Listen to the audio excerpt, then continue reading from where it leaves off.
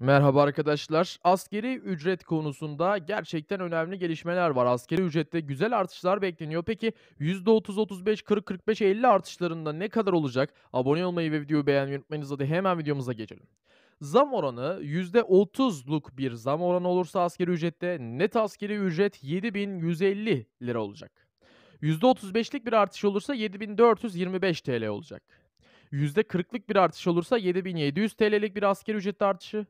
%45'lik bir zam olursa 7.975 TL'lik bir asgari ücret, %50 artış olursa da 8.250 asgari ücret olacak. Şunu söyleyelim.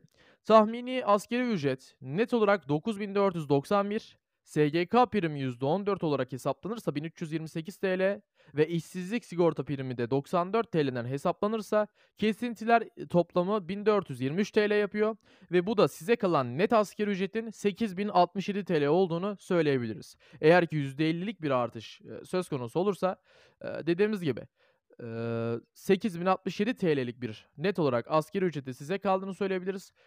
Yani kesintiler var. SGK primi ve işsizlik sigorta primi olduğundan dolayı bunları hesaba kattığımızda, kesintileri de hesaba kattığımızda 9.400 olacak asgari ücret. Bu kesintilerle beraber 8.067 TL kalıyor bir asgari ücretli çalışana. Bunu aktarmak istedik. Videomuzun sonuna geldik. Aşağıdan kanalımıza abone olmayı, tabii ki bu konularda da sizlere haberdar edeceğiz, onu belirtelim.